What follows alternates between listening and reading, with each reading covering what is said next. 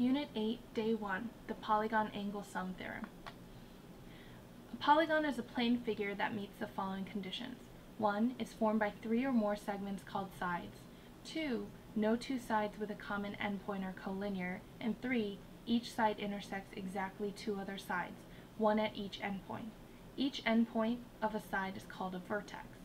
Now, pause for a second and then decide whether each of the figures is a polygon. If not, explain why. Then press play and check your answers with me. Hopefully your answers match mine and you notice the same problems that I did. This is rounded, this is not closed, and this intersects itself in the middle of the polygon. A polygon is called convex if any line that contains a side of the polygon does not contain a point in the interior of the polygon.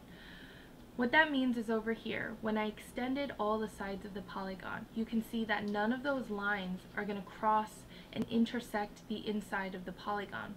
So this is called convex. A non-convex or concave polygon is just a polygon that is not convex.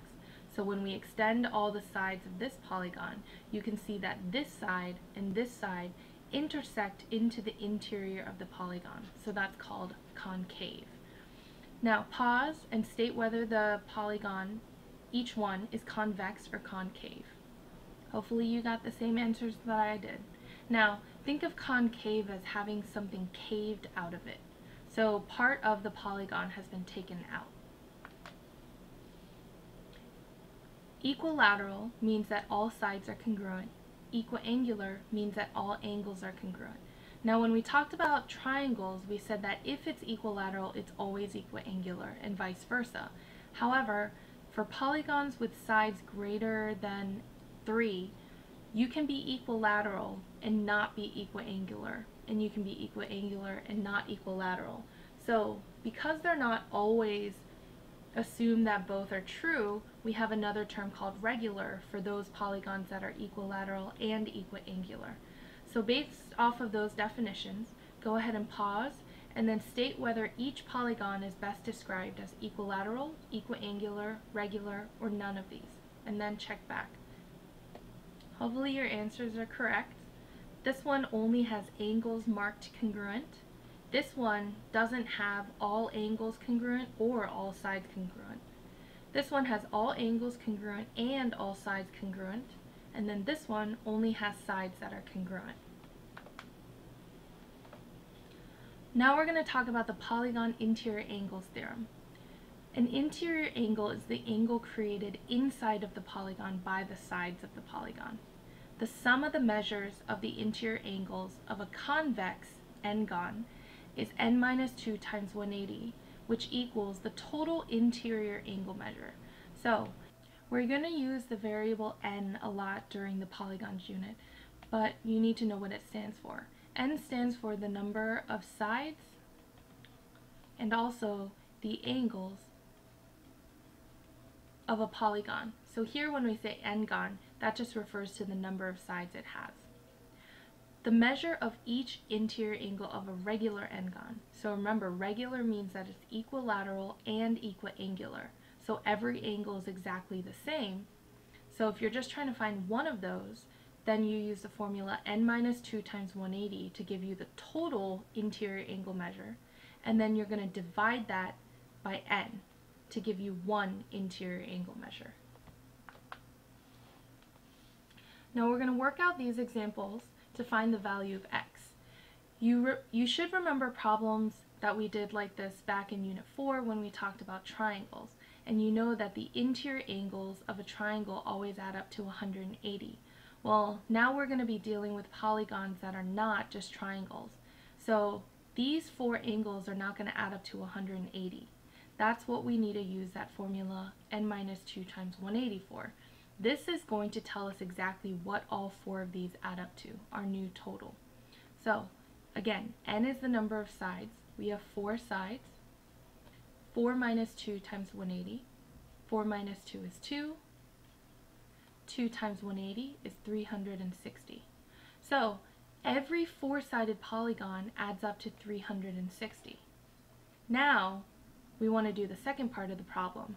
x plus 87 plus 113 plus 75. All four angles add up to equal 360. So we need a combined like term so we can solve this equation. So x plus 275 equals 360. Then subtract 275 from both sides and you should get x is equal to 85 degrees. And that's your final answer. So I want you to pause, try this next problem the same way we did this, and then check back with me. Hopefully you found x to be 117 degrees. If you didn't, go ahead and press pause, check your work with mine, and see where you might have made a mistake. Now I want you to take that same idea with this problem, except this time instead of giving you angle measures, I've given you expressions for each of them. But take the same idea as how we solved on the page before, try to find the value of x. Then when you're ready, check back in with me for the answer. Hopefully the first thing you did was find the total interior angle measure using n minus 2 times 180, the number of sides being 5, then you should have found the total interior angle, angle measure to be 540 degrees. Then you should add up each of the angles, all of them together, and set it equal to 540. Then you can take all of the x terms, add them together, and all of the constants and add them together, and you should get a much smaller equation, 35x plus 15 equals 540. Then you subtract 15 on both sides, and then you divide by 35, and you should get a final answer of x equals 15.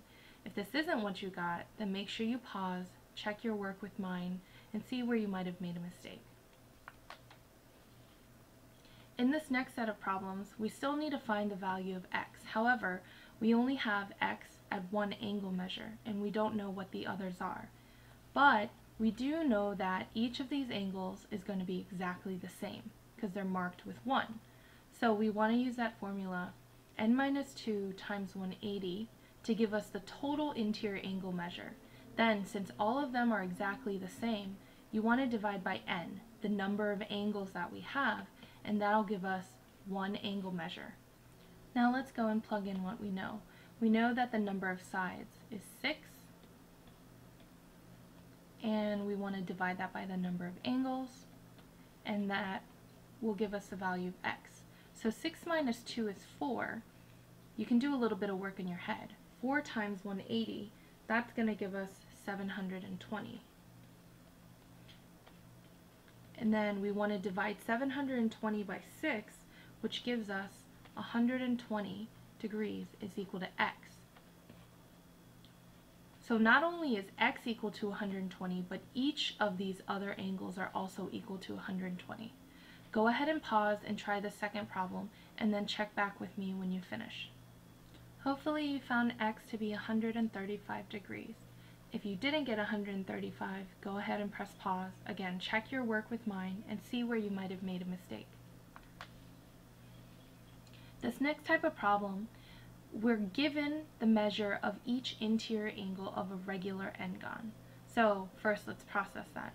It's a regular polygon, so we know that all the angles and all the sides are congruent.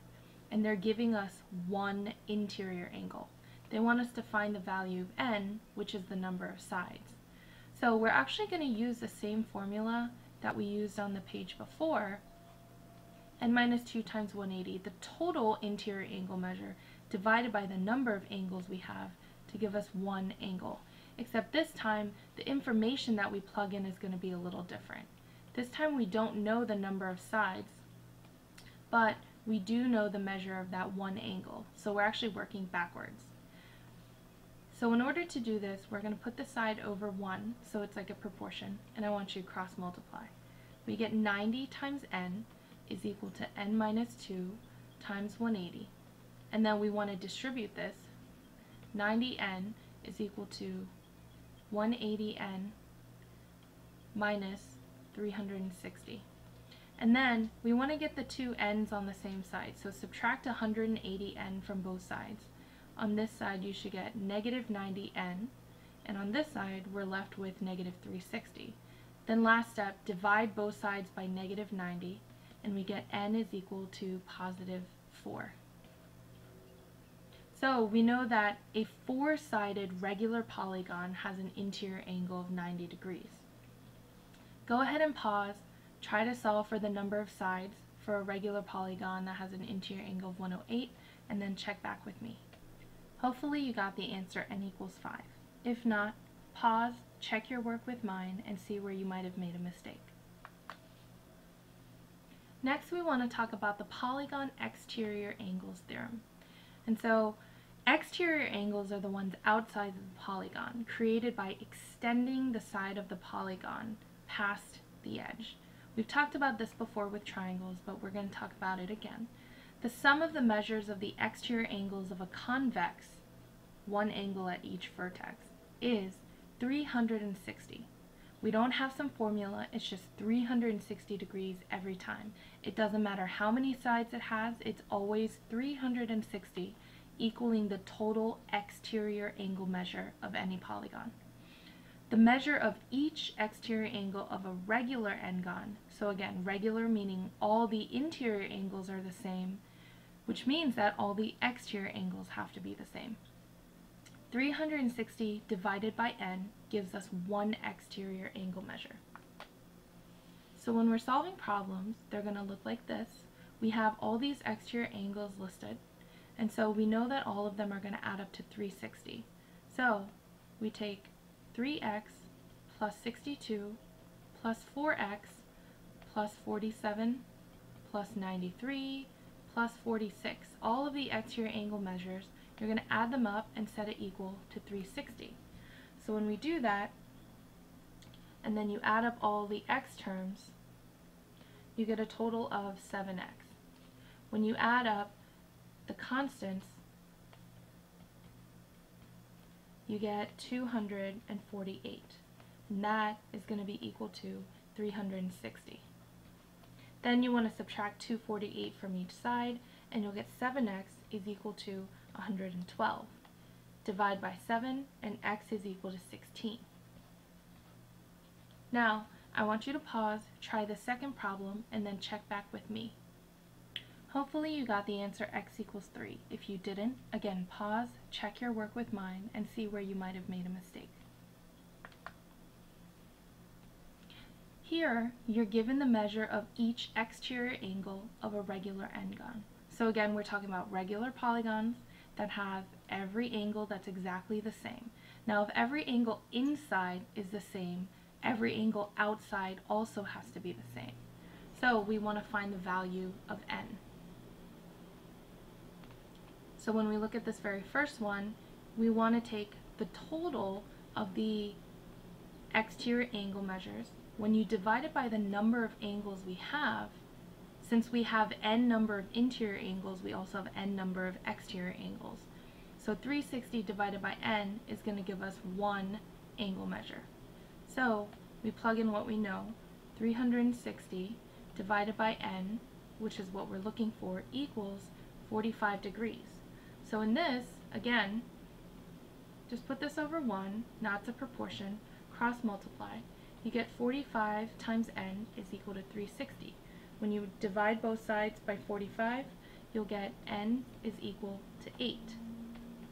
So that means an 8-sided regular polygon has exterior angles equal to 45 degrees. Pause, try the second one, and then check back with me. Hopefully you got n is equal to 6. If you didn't, go ahead and pause, check your work with mine, and see where you might have made a mistake. Now, that's it for today. Make sure that you have all the notes and all the examples fully written out, because when you come into class next, we're going to work on the worksheet. Now, if there's something that you feel like you didn't understand, go back and watch the video again, and make sure that you are listening carefully. Okay, I'll see you in class.